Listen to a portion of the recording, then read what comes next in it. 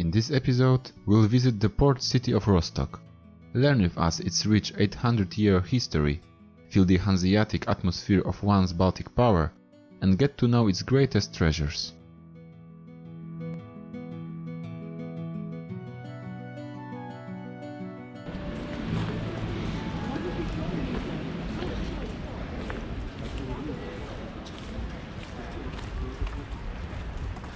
So today we are in Rostock, our next adventure.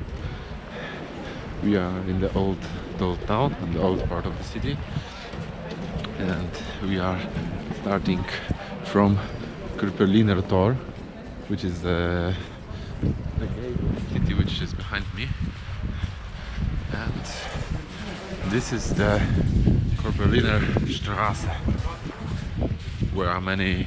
Uh, shops and restaurants. So we are going to explore first of all the, the old town, the oldest part of the city, and uh, on the way I will tell you a little bit about about the city, about what you can find about history. So enjoy. Rostock is a port city located in northeastern Germany. It is picturesquely situated along the mouth of the Warnow River to the Bay of Mecklenburg, which is a part of the Baltic Sea. Its beginnings date back to the 6th century, but its greatest flourishing took place in the 15th century. In the middle of the Kröpeliner Straße, you can find the main building of University of Rostock. University which is very old. It was uh, founded in 1419 so it's one of the oldest no actually it's the, the oldest uh, university in northern europe so the city is known for for having this university there's also fountain of joy but during uh, winter it's not working obviously and we'll go further St. Mary's is Rostock's most beautiful and most important church. The triple-nave cross-shaped basilica from 13th century is in brick Gothic, a building style typical of the Hanseatic port cities of northern Germany. You can find there unusual medieval astronomical clock, which is the only one of its kind still in working conditions with its original clockworks. This extremely precise device not only measures time, but also allows you to read for example zodiac sign, date or length of day and night. So this is the market of the former Middletown. In 1218, Rostock received town rights, and it was the starting shot for the development of a large and advanced metropolis in the Baltics. The privilege to trade herring and a monopoly position in trading with Norway helped the economy grow. Trade relations with other cities in the Baltic and North Sea flourished. In the mid-13th century, the merchants organized the powerful Hanseatic League to secure their interest and passages. At that time, the city experienced its greatest boom, and many historic buildings of the old town date from that time. Back then, up to 370 ships sailed under the municipal flag. Available merchandise from Rostock were beer and fish products. We are now in Alter Markt, which is old market square, and over there it's a very nice church, St. Peter's Church.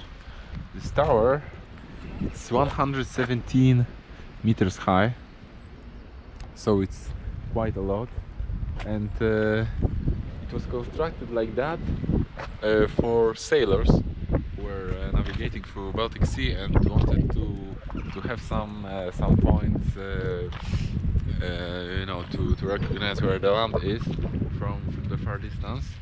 Uh, in previous times it was the highest building in Rostock. The square is surrounded with this nice colorful houses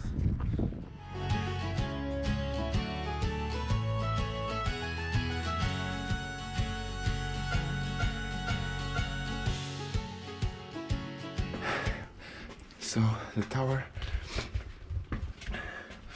is as I said 115 meters but this viewpoint is at uh, 44th meter and you can see the panorama of whole Rostock. The end of golden times came in the 17th century as a result of 30 years war and the Great Fire of the city.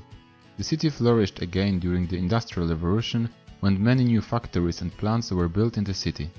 Prosperity lasted until World War II, when as a result of Allied air raids, a significant part of the city's building was completely destroyed. After the war, Rostock became the main port of East Germany, and the city itself developed rapidly. After the unification of Germany in 1989, the city lost its importance as a port and found itself in one of the poorest regions in Germany. Due to immigration, the population has decreased by 60,000 and currently stands at about 200,000 inhabitants.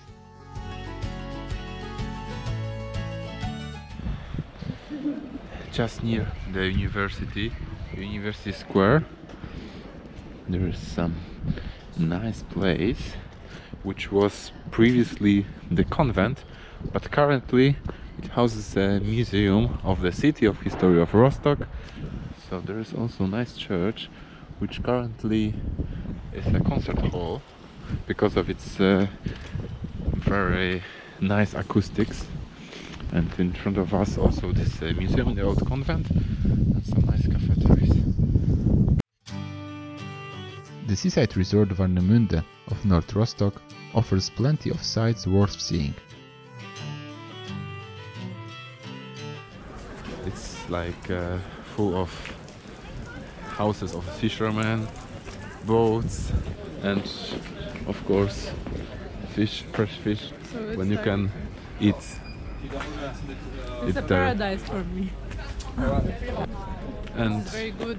It's um, fried fish and uh, chips. Really very good.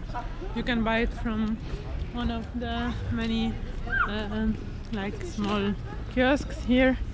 yeah, Uh, it's only five euro, five euros. and they they can warm it up. It's for you, so I think it's worth it. Is Mhm. it is it worth it Yeah, very good. for five euro? Mm. In the past, Warnemünde was only a small fishing village. In 14th century, the village was purchased by the city of Rostock due to its strategic position in order to safeguard the city's access to the Baltic Sea. Now, it is a resort with a wide sandy beach and atmospheric promenade.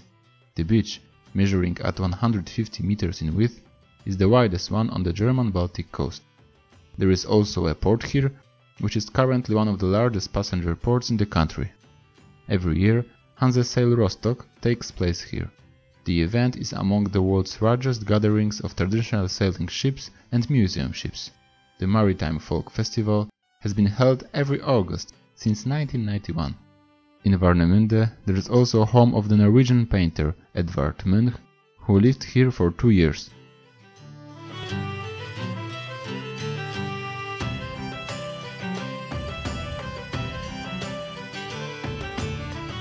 General, Rostock, the name of Rostock, came from uh, from Slavic languages because Slavs in 10th century uh, started living here and created the city.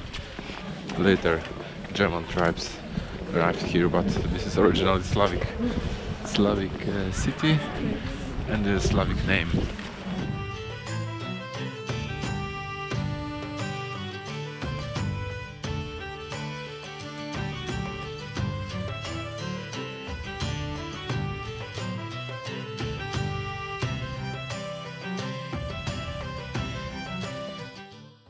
Alexandrinenstraße is one of the very first streets in Warnemünde, along with the street Am Strom. Fishermen, sailors and pilots lived here in small gabled houses, which mostly consisted of simple half timbering. Only a small distance was kept between the houses, at most 1.5 meters wide, which was wide enough for a pregnant cow to pass through.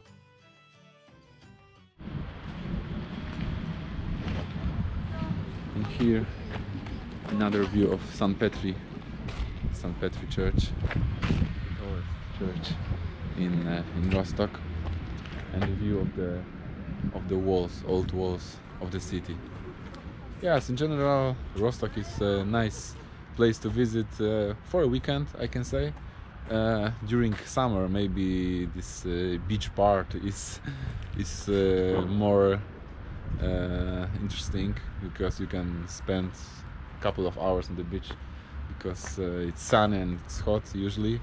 Uh, in summer last time it was more than 30 degree, degrees centigrade, so it was quite hot. And uh, during winter you have Christmas market, you have some decorations, so also this ambience is a little bit different.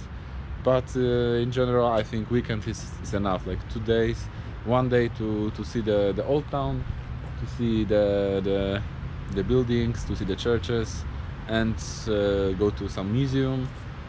And the next day, go to the beach to the Warnemünde district of the city in the north to explore a little bit this uh, fishermen villages and, and so on. And here the last the last view of of St. Petri Kirche, so St. Peter's Church. When we went yesterday to see to see the view from above.